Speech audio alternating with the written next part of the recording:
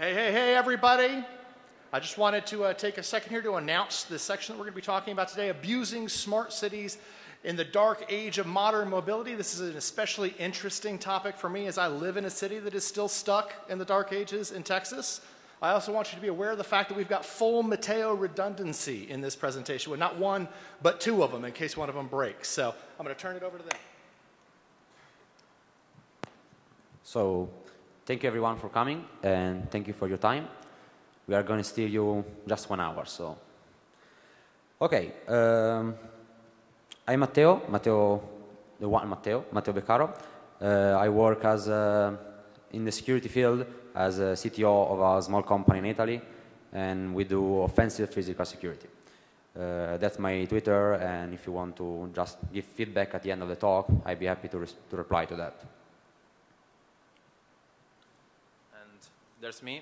I'm uh, Matteo Collura, and uh, I got a bachelor just two weeks ago, and I'm still a student studying now in the field of nanotechnologies uh, for ICTs.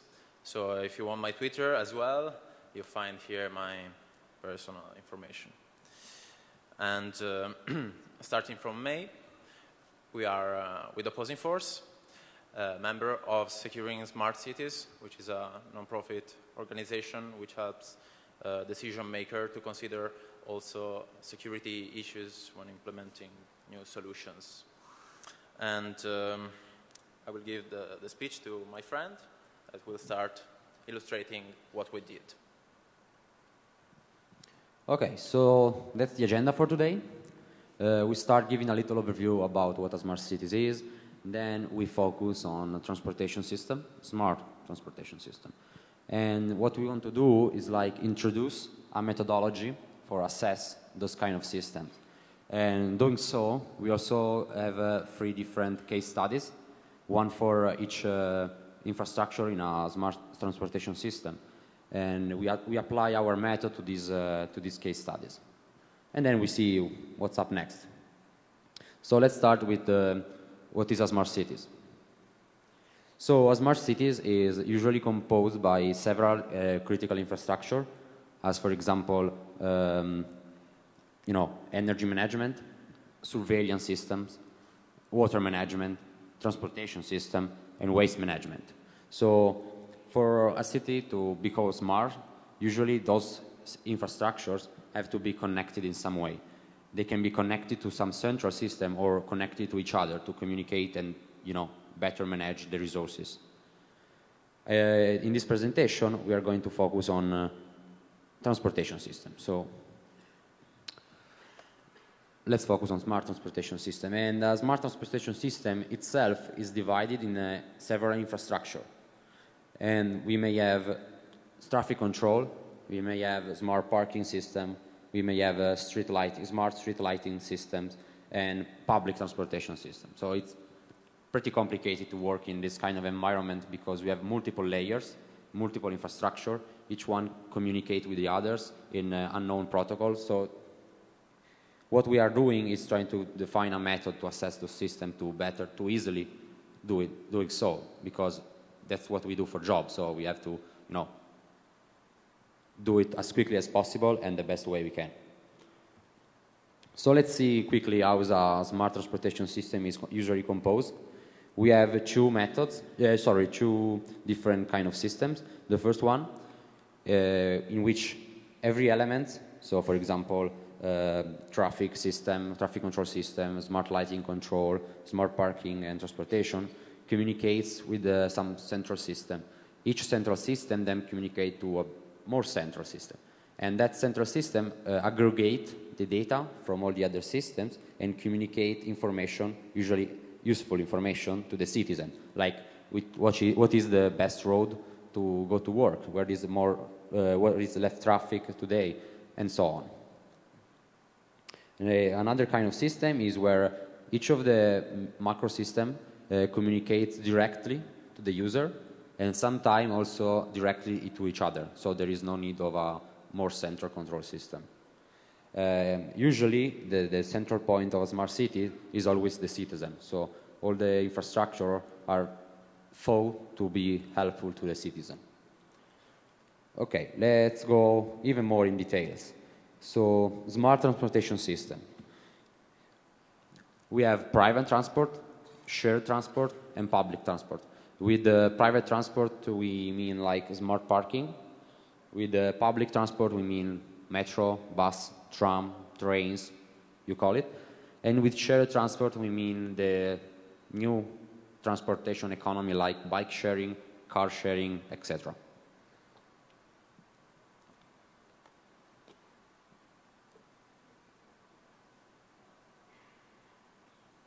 I drink a lot, so sorry for these interruptions.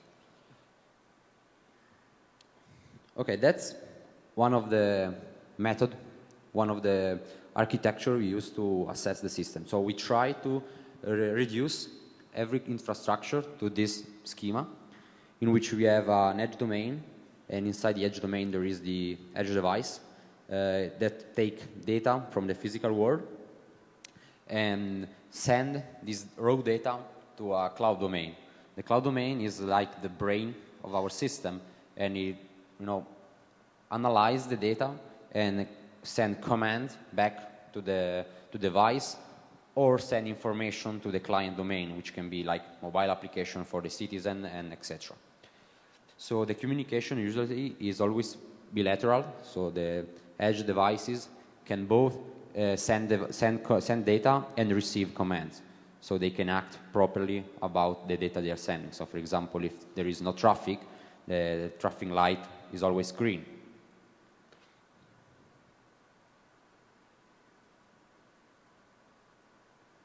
Okay.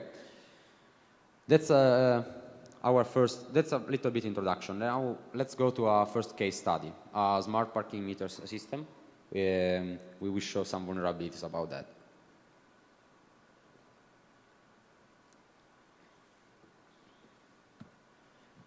Okay, that's the device.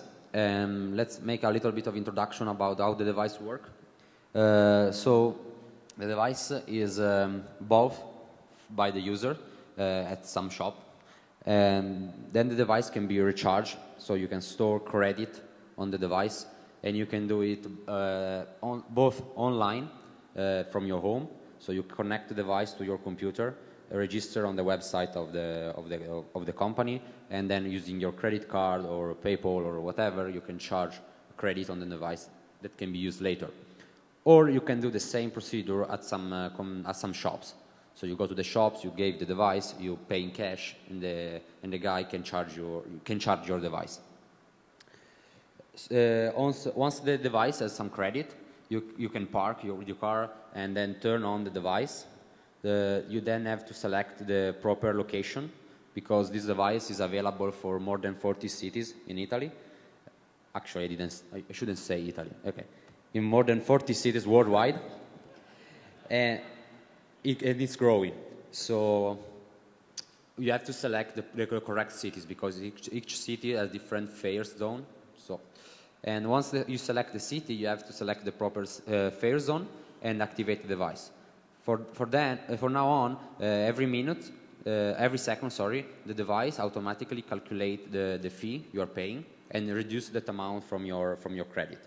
So actually the benefit for the user is that the user doesn't have to bring like coins and cash to pay the, the park, the parking, and he just get he just pay for the exact time is is parking, and not for like half an hour uh, or one hour over. So these are some of the interfaces we found on the device. So there is a display port, which is used for uh, showing some information we will see later. There is the USB port, which is used to connect the device through the so-called gateway, which is our computer that uh, connects the device to the cloud system. And then we have our, our MCU. Um, all those interfaces uh, have some vulnerabilities. We will solve them uh, in a few. I just need to drink again.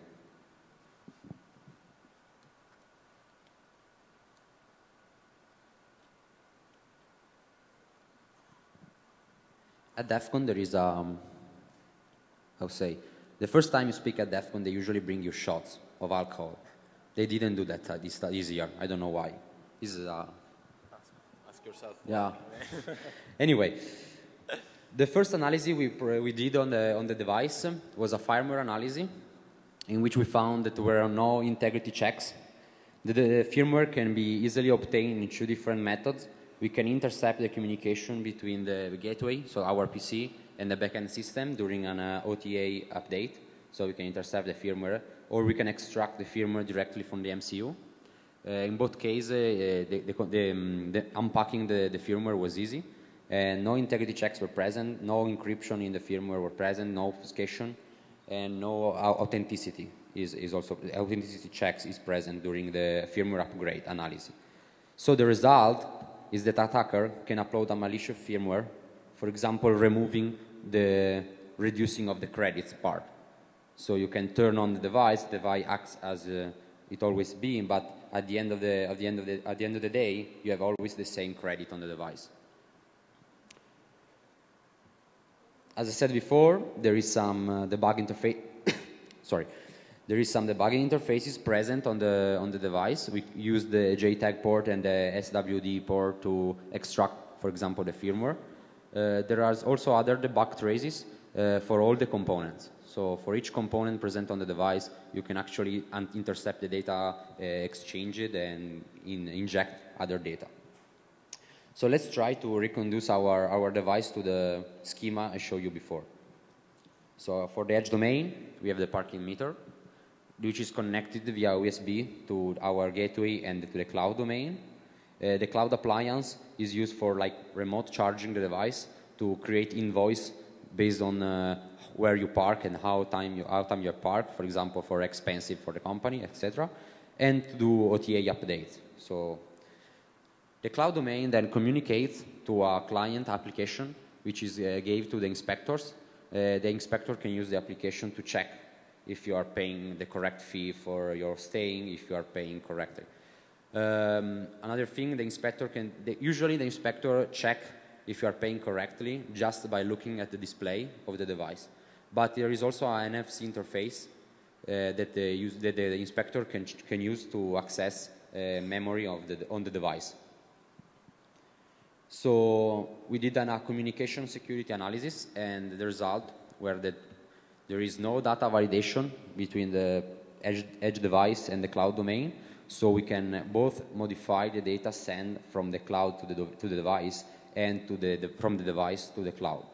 And moreover, the, all the trust in the, if you are paying or not, is in the device itself. So the inspector can actually check only if you are paying by looking the device or accessing the memory on the device. It cannot check if you are paying correctly uh, using the cloud, the, the, cloud data, because the device it's not, it's not updating its status in real time. So as I said, there is no, no integrity check, no encryption, no authenticity checks. So this is a sample uh, request we, we intercepted, and from that you can see, I don't know if you can see, but it's there is some parameters which are very useful, and this is a configuration file. So every time you connect your device to the, to the gateway, uh, the, the cloud appliance sends new configuration files for updating like fee zones, etc. Uh, if there are any new cities, uh, and we can modify that configuration file. Okay, so reversing the, the firmware, analyzing the communication, and uh, using some uh, debug interface to understand better the data, we finally found what is the formula used by the device to calculate the fee. That's the formula. So we have the price per time unit, then we have the fare frequency, because in some cities you, you may have um, to pay every half an hour and not an hour, so it's another parameter.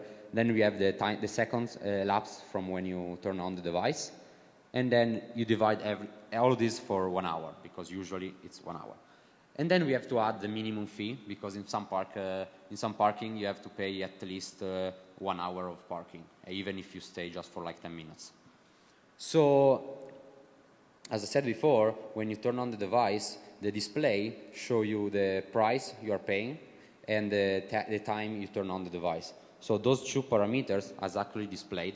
So even if we modified the the configuration files. So we, for example, if we put at zero the price per time unit, that zero is displayed, is, is displayed by the device. So the inspector can actually see you are, you are committing a fraud. So that's not good.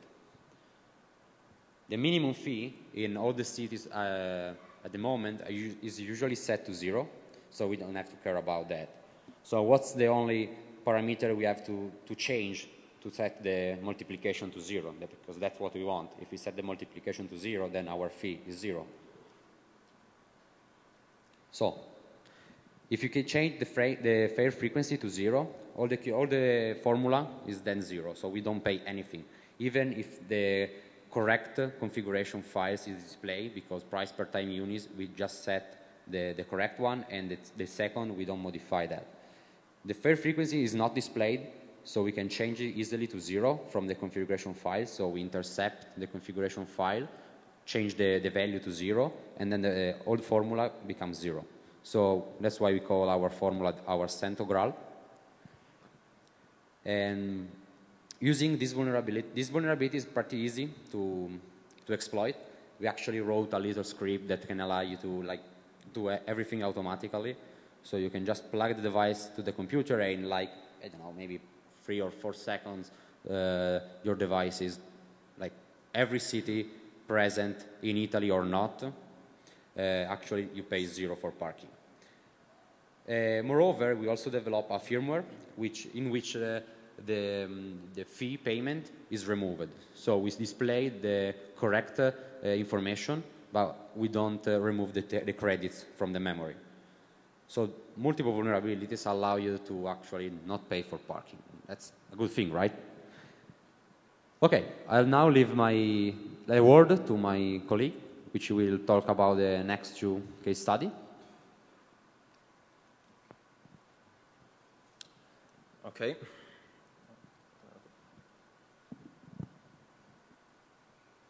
Oops. Okay. Spoiler. Yeah, a little spoiler, but um, we will go on speaking now about uh, shared transport, shared transportation systems, and in particular, we will speak about bike sharing.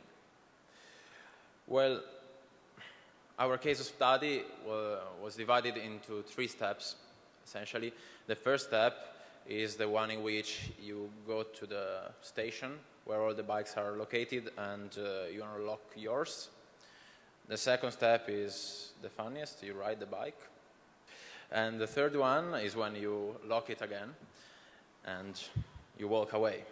So let's go step by step from the first one. The first one, um, show the picture shows that uh, the ways to unlock your bike are essentially two.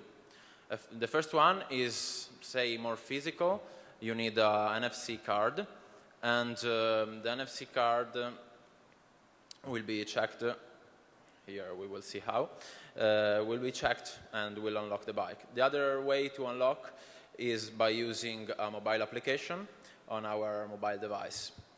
So um, the station is speaking with the cloud or with the backend that authorizes the unlocking of the bike. Let's see more in detail. This is one of the stations. And as you can see on the top, there is a NFC reader for the, for the card. And uh, as I said before, there are those two accessible methods in order to unlock the bike. Let's focus on the first one, so the mobile application. So at first we, we decompiled the app and we found that there is no obfuscation on the code and so that helped us a lot in order to understand how the whole procedure works but moreover, one of the critical points is that there are the vendor credentials are coded, and obviously we obfuscated them here because we don't want to say the name of any company here. And um, the, the critical point is that with those credentials, you are allowed to create new users, uh, charge some credits on those users, activate the users and unlock a bike in real time, wherever it is. So it is quite dangerous, I mean. And moreover, uh, there are some APIs here and that are vulnerable to SQL injection. And uh, of course, for legal reasons, we did not make any attempt to exploit them. So I will skip this part. And There is, a, there, is, there is a private Q&A session later. Let's move to the card analysis. Uh, okay, I hope you don't recognize the city, but um, it's uh, okay. Let's go on. It's in Italy, but he said before, and that's It's my not. second. Uh, the second mistake. Okay, it's a ultralight NFC card. So we all know that ultralight does not have any um, encrypted uh, data on it. Uh, well, uh, the protocol is not um, is not encrypting the data inside, so each one can read it easily. And there is no authentication while uh, uh, reading the card. So mm, if I can get one of those cards, I can easily read my, with my smartphone or another reader. And uh, the only identification uh, parameter in it, unique, uh, unique identification parameter, is the UID, which identifies one and only one user. So that is the sensible, all the sensible information relies in the UID to unlock the bike. And uh, if you look close to that card, just look inside that rectangle. I don't know if you see the, that number. Uh, please raise, raise your hand if you guess what that number is. Please do. Yes, you're right. It is the UID, but in reversed way. So, don't know who, who decided to put in that place the UID. Well, of course, it is simple to read it by a reader, but um, they ease you this procedure. Let's go further and analyze the, the other steps. Well, there is a physical issue we found in the stations because the only way the station um, is able to understand if the bike is properly locked or is inserted is by a, a sensor inside that uh, little piece of metal you see in the, yeah, in the hole.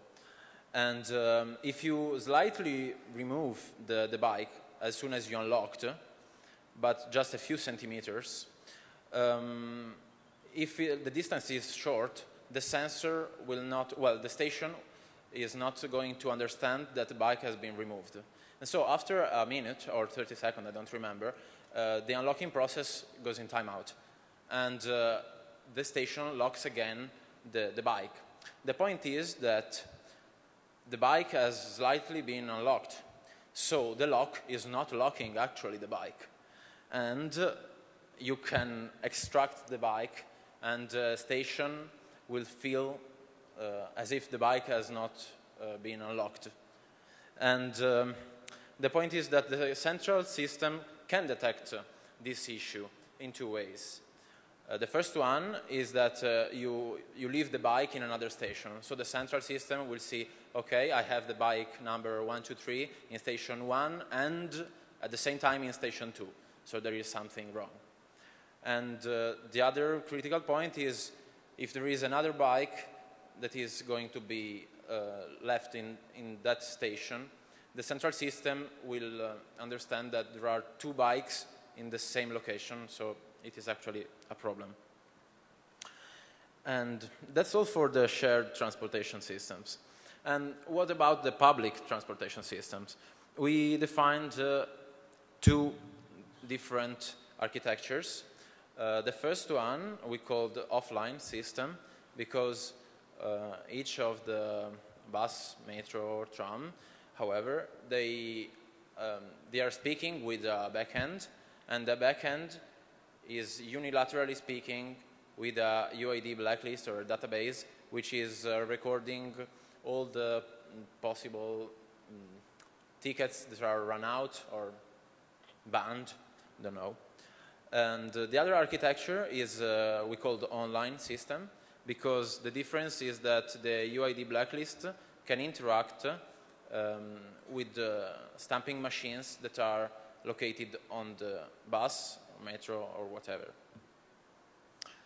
So let's start with the, the first architecture. We spot out uh, two main vulnerabilities. The first one is called uh, lock attack, and um, actually it's quite easy to be understood because the, the sector where the rights are located, that is the OTP one, can be made read-only if we set one bit in the lock bytes uh, to one. So it's quite easy hack, let's say. And um, no rights will be removed when you stamp your ticket because it is read-only. So essentially, it's quite easy also to be fixed, this vulnerability, but uh, it will work. Essentially, well, it was working. And uh, the second one we are talking about is the time attack. And um, this is nicer because you don't have to make any, any modifications to the lock sector, lock sector and to the OTP. So you leave essentially all the rights as they were, and you find uh, the place where the timestamp of the last validate, uh, last validated ticket is stored. So the only, the only task is to reverse, uh, to reverse the, timestamp and find the initial time uh, when the, they start counting the minutes. So as soon as we reverse the, those data, for example, here we, we put a rectangle, a red rectangle around the, that area, and we found the initial date was something around 2005, I don't remember. First January. Uh, yeah, don't, don't, don't say it loudly. And uh, we found that, and uh, so that way we are able to forge our, our own uh, timestamp and validate our ticket without touching the rights, because the ticket is valid for some minutes, 90 minutes or whatever, and so you, you will have always a valid ticket. And uh, what about the online systems? Um, this, those kind of systems are not uh, vulnerable to the previous, but are vulnerable to the replay attack. Well, offline systems are also vulnerable to replay attack, but I will explain now. And re by replay attack, you have a lot of possibilities and will be a serious problem. Because if you use some emulators or clone tickets, the one from China, for example, the there are no rules. They act like uh, MIFARE Ultralight, but they are not, or other MIFARE, maybe Classic, etc., but they are not following the standard rules and the protocols. They are completely erasable and changeable. So you are allowed to change the UID, forge new UIDs with a, a valid structure because you, have a, you can clone your ticket with a, a valid structure, even if it is encrypted you change the UID, and then you can stamp it and bypass any software encryption because the, the validating machine makes everything um, by itself. And uh, moreover, you can also use the same ticket to, you clone it on your clone one, you increase one ride, and you stamp the clone one, and then you come back to the, the previous ticket, the original one, copying all the data sectors and whatever you have, so it will be perfectly um, indistingu indistinguishable from the, the previous one. And it is valid. And the, pro the problem is that uh, the implementation of a whitelist would be a, a problem in our systems because the whitelist must be, must up be updated on all the stamping machine in real time. Think about uh, if you go to buy a new ticket from a, shop, that ticket must be usable immediately uh, as soon as you buy, you buy it. So the implementation of a whitelist is a serious problem. And it will mean, well, you will need to build a completely new infrastructure if you already deployed one to implement such a thing. So it will be a very, very difficult task. As regards future works, what's next? Well, we studied, uh, uh, this is the picture we, shown, we see before, and um, we spoke about uh, energy management, surveillance systems, water management. So let's start with smart cities su uh, surveillance. And those kind of cameras can be used for, well, they have multiple uses. One of those uses can be um, for policemen to charge people maybe uh, going with their car in uh, restricted areas, for example, limited traffic uh, areas, and they can uh, snap a picture of your of your plate and uh, mm, sending you a fine for entering that. But how the how is the connection made between those cameras and the main uh, backend? Well, we we still have to understand how, and um, then we have something on water management. Maybe there are some counters that are revealing how much water each one of us is using and uh, um, applying a charge for each cube meter of water. I don't know if you use here those kind of units of measurements, but uh, the amount of water you need. Yeah, imperial is different from metric, but I hope it is clear the same way.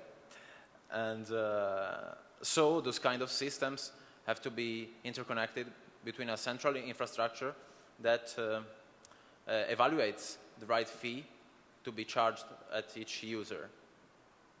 But what about, for example, the smart city lighting system?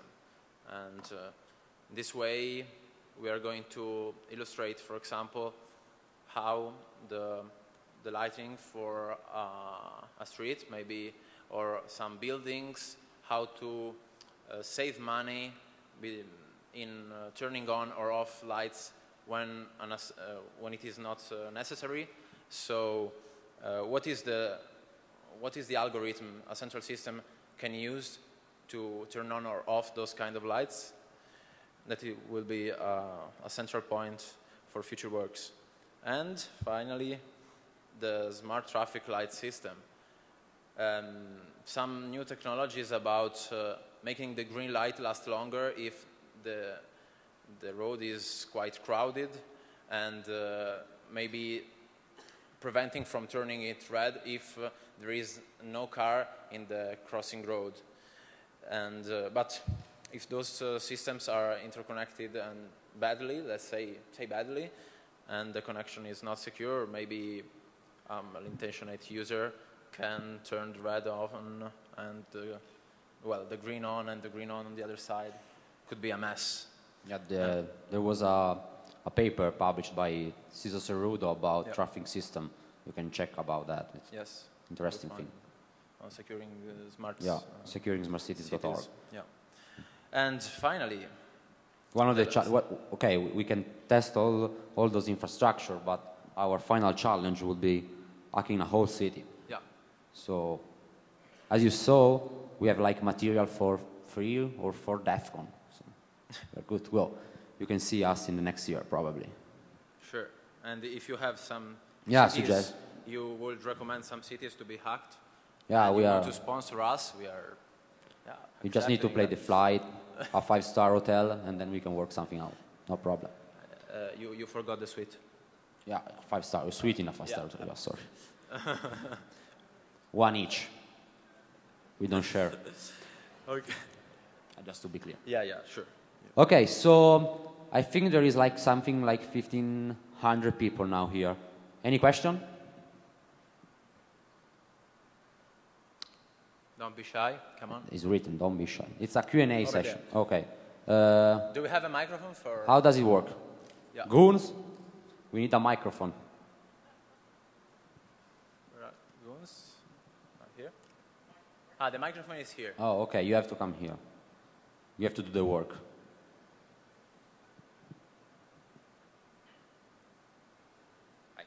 So on a replay attack, rather than copying it to another device, couldn't you just copy it, make a gold image, and then after you've used it, replay that back onto the original device? Yeah, you, Yep. you, you can do that, but the problem is uh, when you have the blacklist, uh, sometimes your ticket can, uh, can be put on the blacklist because it actually behaved in a not correct way. So what we did is to inject new UID. So the system doesn't recognize if the, every time you stamp the ticket, you put a new ID. So the, this new ID has not pre, uh, previous behavior, so they don't ban it.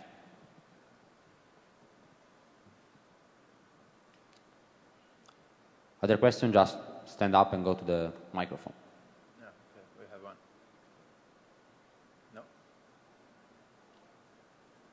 No questions? Come on. Uh, we have like Yeah, still more 10 or less. minutes. Yes. So we won't go anywhere. Please ask. You have to stay inside. Close the doors.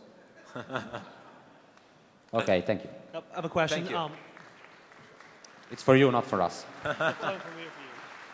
I can talk afterwards. It's fine. Thank you. Um, Singapore is having a real big surge with their smart nation. One of the things that they're doing is they're having a big push for, in the name of elder care, monitoring in the home. Are you seeing that in Europe? Uh, nope. At least not in Italy. Well, we are from Italy now. Maybe you have understand, understood that, but not in Italy. It's, a, it's an interesting thing because we actually never thought about that, but um, we are going to present the, the same research in Singapore uh, next month at GSEC. Yeah, Two this weeks. month. Two Uh, At the end of the month in GSEC. So maybe there's some like interesting point to, to speak about. Can you tweet where you're doing this information? Because I live in Singapore. I'd like to attend. Uh, Okay, you can come Yeah. later and give you the link and Yeah. whatever. So on, on the on the parking meter charge hack, did you think to try making the charge negative? Yeah. Yeah, but and uh, uh, something very weird happened. Yeah, with they, they charged us like 10 times what, what, what we owe. Oh, yeah, so there, there must be something more in that formula. man. Okay, Reversing the firmware, there is some uh, like very strange things, like some weird vulnerabilities in which you can like overflow the whole system and Yeah. crash it. It's, more, more to look into. but yes, we, we tried. Hi, so in Chicago we have a different bike share system with a different lock at the front of the bike, which I believe, uh, I'm not sure if this hack will work or not on it. So I'm wondering if you've looked into other hacks for bike share that aren't reliant on the locking mechanism. And then also our bikes have GPS, so have you figured out how to, if you wanted to literally steal the bike, how do you overcome the GPS? So, so you have GPS on the bike. the bikes. Okay, you, there was a, a talk, I think last year at Black Hat, or DEF CON, or both probably, uh, about spoofing GPS data with the SDR. So you can actually bring your SDR in a, in a backpack with a battery and like spoofing the data and meanwhile stealing, stealing the bike legally. It's a, a, principle we, we are trying also to apply to uh, car sharing because they check uh, your mileage and where are you going and they charge money for that. So it's interesting thing. You're welcome. Anyone else? Three minutes. Yeah. Maybe four or five. Okay. Thank you very much for coming. Thank you for your hour. Yeah, thanks for. We really appreciate.